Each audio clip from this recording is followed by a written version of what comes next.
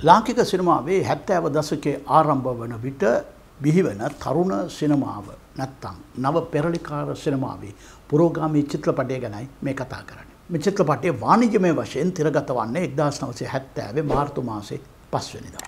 හැබැයි චිත්‍රපටය මුලින්ම එක්දස් නවසේ හැට නමේ අවුරුද්දේ දෙසැම්බර් මාස තිස්වනිදා විශේෂ දර්ශනයක් පැවත්වෙනවා. මේ චිත්‍රපටය තිරගත කරාය කියන සංකේතය සඳහා. කොමුණත් මේ චිත්‍රපටය තිරගත කරවීම නිලවසන්නේ දවස කියලා සඳහන් වනත් ඇතරම් මේ චිත්‍රපටි තිරගත වන්නේ මාර්තු මාසේ පස්වනිදා ඊට පස්සේ. ඒ තමයි හන්තානේ කතාව. හන්තානේ කතාව කියන කොටම අපට සිහියට එන්නේ අපේ සදාදරණය විජය කුමාතුන්ගැන්.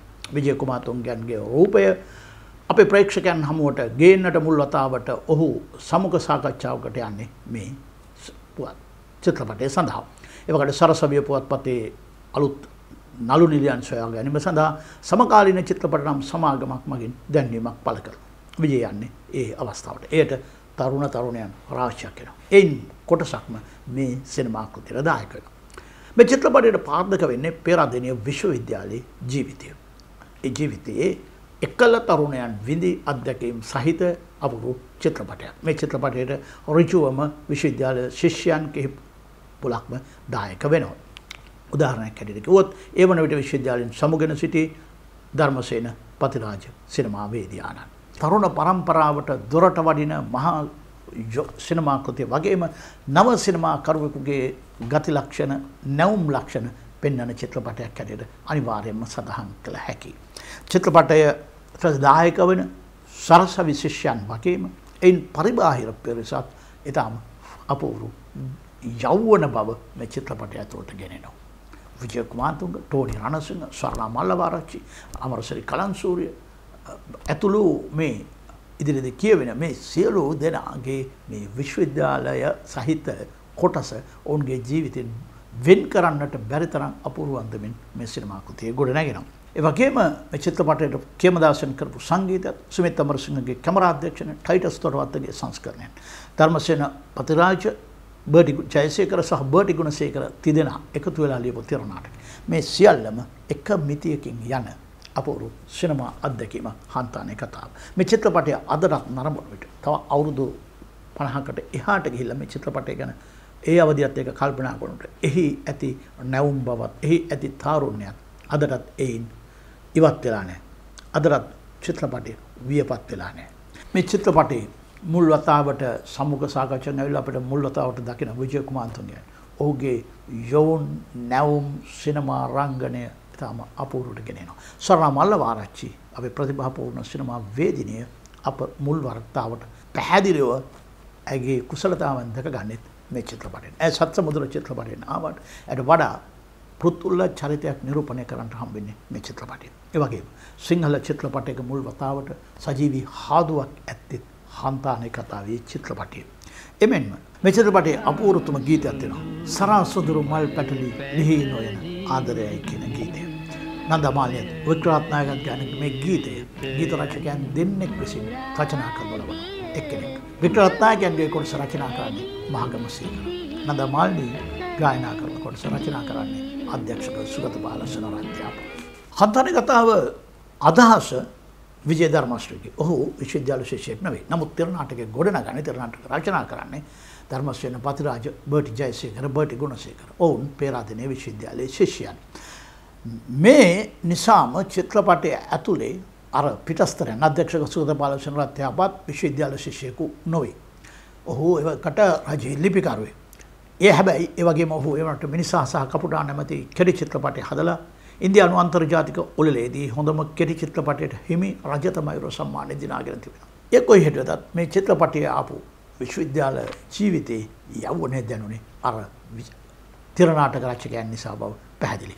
ඒ වගේම ඒකට එකතු වෙච්ච රූපණ වේදීන් ගෙති වෙච්ච කඩවසම් යව්වනයක් ඒට ඉතාම හොඳින් සම්මිශ්‍රය වුණ. චිත්‍රපටයට පාදක වෙන්න විශ්වවිද්‍යාලයක වර්තමාන සමාජයට නොවේ ඊට වඩා ප්‍රේම වෘත්තාන්ත. ඒ ඇතුළේ ඔවුන්ගේ අරගල ඔවුන්ගේ පෞද්ගලික ඕනෑපාකම් මේ සියල්ල තිනවා. චිත්‍රපටය ත්‍රිකෝණ ප්‍රේම වෘත්තානය. අනුර කියන්නේ අලුතෙන් විශ්වවිද්‍යාලයට ඇතුල් වෙන තරුණෙක්. ඔහු ගැමි තරුණෙක්. ගැමි ගැමියන්ගේ සාරධර්ම සහ එයින් හික්මුණු ශිෂ්‍යයෙක්. හරියට ඒට පෙර පෙරාදිනය සරසවිය හරහා බිරු වෙච්ච මහාචාර්ය සිරිගුණසිංහගේ හෙවණැල්ල කෘතියේන ජිනදාස වගේමයි යම් ප්‍රමාණයකට. සුබා නැත්නම් සුබද්‍රා විශ්වවිද්‍යාලයේ පීඨාධිපතිගේ දියණිය කෙලිරෝල් ජෝතියක්. බන්දු මේ විශ්වවිද්‍යාලයෙන් කඩවසම් සෙල්ලක්කාර තවත් තරුණයි. ඔහු ශිෂ්‍යනායකකුත් වෙනවා. මේ ප්‍රේම කතාවේ අපූර්වතම අවස්ථාව මට නම් උඩ වැඩියා මල කඩා ගන්නට කියන අවස්ථාව සුබද්‍රා. මේ උඩ වැඩියා මල කඩන එක සෙල්ලමක් නෙවෙයි. අනුර එයින් පසු වසිනවා. බන්දු මල කඩාගෙන එනවා. හන්තානේ කතාව ඔබට නැරඹිය හැකි චිත්‍රපටයක් ටෙලිවිෂන් චැනල් වල පෙන්වනවා. තිනා යටතේ මේ චිත්‍රපටය තිබෙනවා. හන්තානේ කතාව කියන්නේ නරඹිය යුතු නරඹන්නට ආස්වාදය ලැබිය යුතු අපූර්ව සිනමා කෘතියක් හැටියට හඳුන්වා දිය හැකියි.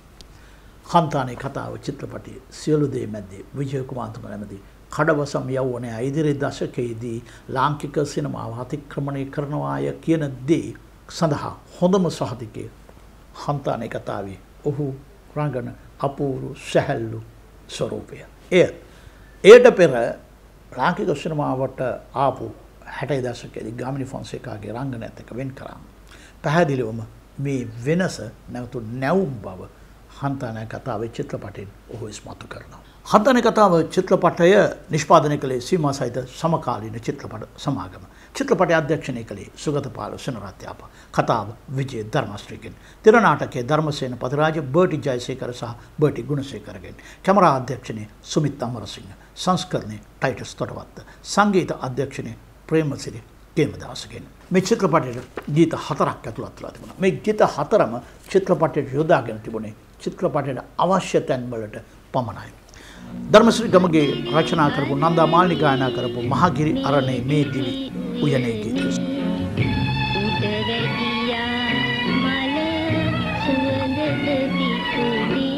සුගත බාල සුනරත්යාපා රචනා කරපු අනන්ත වූ දෙරණ සරා දැස නිවන නිලක්ෂ සනත් නන්ද සිල්විසින් ගායනා කරනු ලැබුවා. නන්දමාලි සහ වික්ටර් රත්නායක සරා සොඳුරු මල් පැටලි දිලී නොවන ජීවිතේ ගායනා කළ මහගම සේකරයන් සහ සුගත බාලු සරත්යා පාරචනා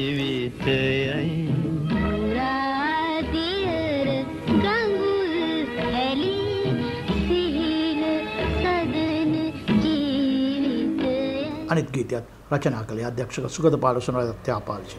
දිගන්තයේ ගන අවිඳු අඳුරූපිම පණිත් අමරදේවයන් විසින් ගායනා කරනු ලැබුවා. මේ චිත්‍රපටයේ සහය අධ්‍යක්ෂණයෙන් දෙවස් රචනයෙන් එකතු වුණ කතාව විජය ධර්මශ්‍රී. චිත්‍රපටයේ කලා අධ්‍යක්ෂණයෙන් දායක වුණේ පුෂ්පානන්ද වීරසිංහ.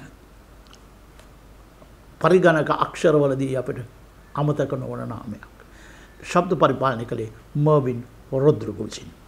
මේ චිත්‍රපටයේ Tony Ranasinghe, Swarna Mallawarachchi, Vijaya Kumaratunga, Sobani Amarasinghe, Sunila Jayanthi, Denawaka Hamine, Amarasiri Kalansooriya, Samanthi Lanerolle, Dayath Tennakoon, Edmund Jayasinghe, Frank Gunasekara, Bertie Jayasekara, Hema Gunawardena, Somapala Lanerolle, Jayati Herath, J B L Gunasekara, Pushpananda Weerasinghe, Dharmadasa Kuruppu, Tilak Dharmasiri, Mala Vajira Perera ආදීන් චරිත නිරූපණය කළ සිලොන්තිර සමාගම තිරගත කළා.